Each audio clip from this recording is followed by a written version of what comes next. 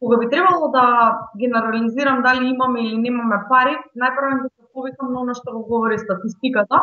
а тоа е дека според нашиот бруто домашен производ, односно неговата просечна вредност, ние за 2015 година по глава на жител сме имале 4401 евра,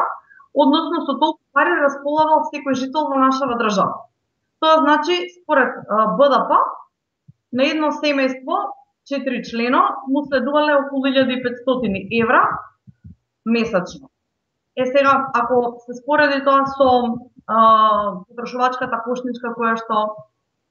ја дава синдикалната организација, тие пари се доволно да некое семејство може да си ги задоволи основните потреби и со истите да си дозволи да има социјален живот. Меѓутоа проблемот е во тоа што кога зборувам за оваа сума на пари, тоа не не се пари кои што ги поседува секое семејство,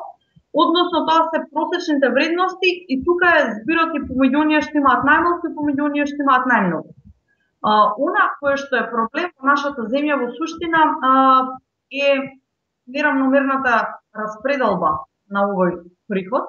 односно неравномерната развиеност на земјата и неравномерната поделба на приходите по глава на жител. А, за илустрација, ќе извадам само еден податок од пред неколку години, а тоа е дека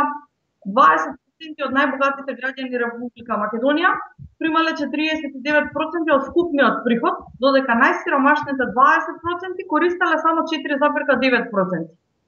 Сега ситуацијата не е многу различна,